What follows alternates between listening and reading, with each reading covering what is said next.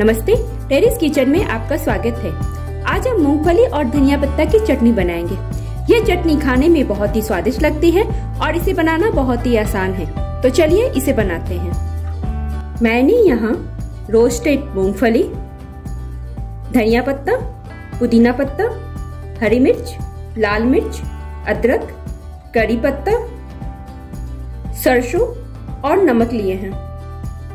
Mixie के jar में roasted मूंगफली डालेंगे। इसमें धनिया पत्ता,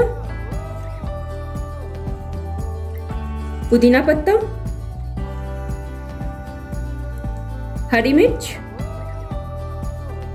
अदरक, स्वाद अनुसार नमक, और थोड़ा सा पानी डालेंगे। और इसे पीस लेंगे।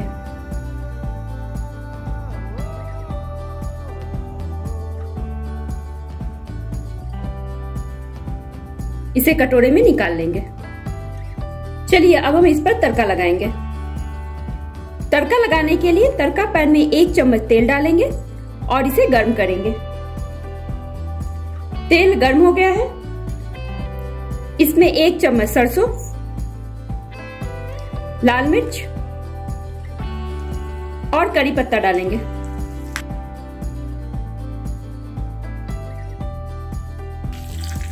और इसे इस पर डालेंगे। इस चटनी को आप डोसा, इडली, उत्पम, रोटी, चावल सभी के साथ खा सकते हैं। यह खाने में बहुत ही स्वादिष्ट लगता है। तो लीजिए, मूंगफली और धनिया पत्ता की चटनी तैयार है। धन्यवाद।